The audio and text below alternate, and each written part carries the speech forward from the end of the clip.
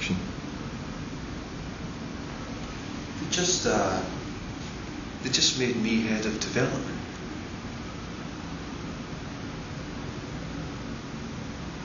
Okay. So I've been in the, the office, the, the development office for the last six months or so. So I don't understand. I don't really know what I have to do uh, as head of development as opposed to part development. That's Um, odd because I'm not getting any more money for it. But it seems as though Well, my question would be, why would they give somebody a job if he doesn't know what his job is going to be? It seems a little weird to me that that. Well, first of all, they must they must think that you can do it. I, I think it's come out. is. Yeah, I mean, I think it's come out of um, the the cutbacks. So really, all they're doing is they're Saving money, yeah. So it's not as though that I'm doing cheap labour. being head of being head of development as a more a case of being development and head of development, as opposed to they've taken away my you know like they've got rid of one of my line managers. Oh, I see. So what they, so what you're going to do is exactly what you've been doing, with more responsibility and no more money. Yeah, because of because of these cutbacks that they've brought into the into the company. So um, hold on. If you're head of development and you're already in development, who are you head of?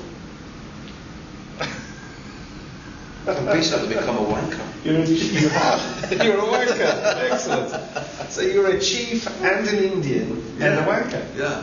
So they've just cut the department in half. And, um, And you're both halves. Yeah. split the atom. You're a total wanker. Yeah. Hi guys, how are you? Hey, how you doing? Just wanted a word. Um, management just wanted me to check on you that you're okay with your new responsibility and Yeah, yeah. it's a huge change, isn't it? It's going to be massive. Massive, he's a massive wanker. Yeah.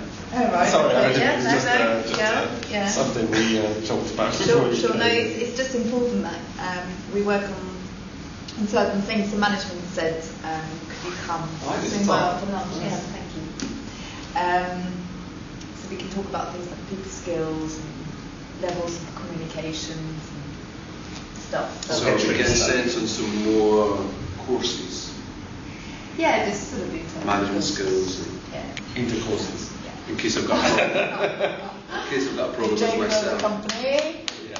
Pardon? In case I've got a problem with myself, because I'm line managing myself now. Well, do you think you're going to give yourself any trouble? Well, this is it. Um, I, I have to go to some of the confrontation, Well, dealing think- with confrontation. Yeah, you're the psychiatrist. How is he going to do that? He's Well, you she know, must be quite- personalities. Now, I, I think the problem here is that we're also experiencing a lot of grief over the people that the company have let go. So Oh, yeah, lots of it's grief. a funny atmosphere at the moment, and how we're going to cope with it. And you will be, it will be one of your roles to make sure that people around you are feeling okay. How do you know? I, but what? Sorry, I've got to start dealing with the emotional problems in the office. Is that what, really? Because I honestly didn't Well, realize. as well. As developing the, the what we've got four or five projects at the moment that I, Yeah, it- It's just important that everyone's aware of what's going on and that we're not lying to ourselves and that Well, we're what I don't taking get- it seriously. but I don't understand is why I'm, I'm, I'm, I've got to look after the emotional welfare of people that are not no, even. primarily of yourself. Oh right, okay. What So I need don't to get is how have all these people lost their jobs and you've still got yours? Incredible, don't you? Yeah, I do. Excellent. I mean, you know, isn't it? but, no, but seriously, I really like you, really lovely, I mean, really lovely. But the thing is that we get rid of all the people who can actually do something, and then we keep you. But they kept you as well. Yeah, but I do something. I, I direct the show. You can't have a show without a director. But what is it you actually? I mean, what is it you actually bring to the table?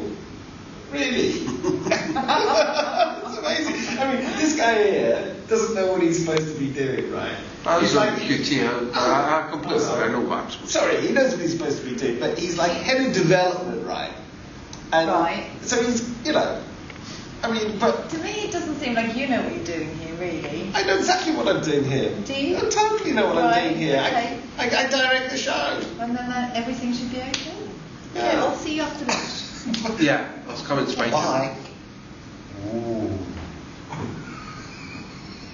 She grabs me up. You get rid of all these people who do something and you got the shrink stays behind to deal with all, deal with all the leftovers. But I liked how she was trying to sort of uh, get some of her workload off onto me as well. Exactly. You know, Exactly. Looking after the emotional welfare of, you know, of myself. Of emotional welfare. You're Scottish, but you probably haven't looked at your emotional welfare ever, have you? Fantastic. Oh well. So, well, welcome to the head of development then. I know, yeah, it's Very going to pleased be. for you. Uh, I hope it all works out swimmingly. Well, the thing is as well because this, this, this the, the funeral pyre job is kind of wasn't wasn't even mine to begin with. It was the yeah. so it was head of developments actually. Well, that's your first job, isn't it? It is going to be my that. first job to take that one on the road. moving on, because. Uh, 'cause- Well, I was hoping for the for, from the help from our resident psychiatrist Oh, really? because she's the one with the inside information on all. Really? Know, she's Oh, brought the idea of course. Rover. So it was Maybe we should get her back in. well, I'm not going to, yeah, I mean, uh, now I'm going to go and see her afterwards after lunch. I'll go and have a Yeah. chat with her. Yeah, maybe she'll get you to lie down in her office and you can tell you about tell her about your childhood. This co- have you seen any of the people who have got in for this stuff who have been auditioning? I mean, Oh. it's the auditioning to die is Uh, I mean, it's one of those stupid, sad people we have to deal with. Oh well, got to finish my book. Yeah. Lunch is almost over. I shall speak to you. See you later. Yeah.